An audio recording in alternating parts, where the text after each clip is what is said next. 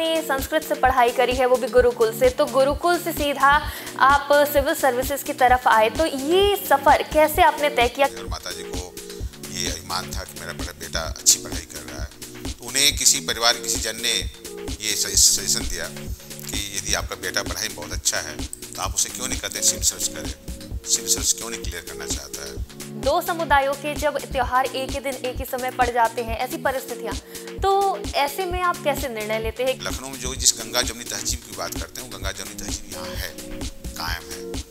और यदि लोगों को भरोसा रहे आप पर लोगों लोगों का पुलिस प्रशासन भरोसा रहे ये भरोसा रहे हमारी बात सुनी जाएगी ये भरोसा रहे हमारे साथ पक्षपात नहीं किया जाएगा। ऐसा माना जाता है कि कमिश्नरेट सिस्टम आने के बाद लॉ एंड ऑर्डर काफ़ी बदला है।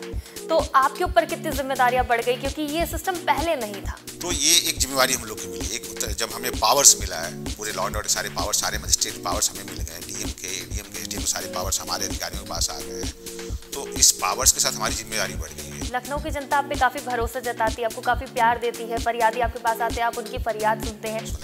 आपने देखा कि माननीय मुख्यमंत्री ने जब से कार्यभार संभाला 2017 से उसमें उन्होंने हमेशा ये निर्देश दिया है आम जनता की समस्याओं को जो भी पुलिस और प्रशासनिक अधिकारी वरिष्ठ अधिकारी वो सुने। बहुत सफलताएँ आपको मिली हैं लेकिन अगर आपके अभी तक के कार्यकाल में सबसे कठिन केस पूछा जाए तो वो कौन सा रहेगा? वैसे मैं इस बार महसूस कर रहा हूँ कि अब लखनऊ में वायलेंट क्राइम ये हीनियस क्राइम्स काफ़ी कम हो गए हैं। हमारे अफसर ने साइबर क्राइम के बारे में बताया था। इसके साथ साथ हमें ज़रूरी है कि जो पुलिस के लोग हैं पुलिस के ऑफिसर हैं जो साइबर क्राइम को इन्वेस्टिगेट कर रहे हैं उनको ज़्यादा से ट्रेन करें तो वो हम लोग काम कर रहे हैं। ध्रुवकांत ठाकुर ने अपने जीवन के सफ़र, लखनऊ कमिश्नरेट और लॉ एंड ऑर्डर पर प्राइम टीवी से और क्या कुछ कहा, देखिए शनिवार, शख्सियत, रात सात बजे सिर्फ़ प्राइम टीवी पर।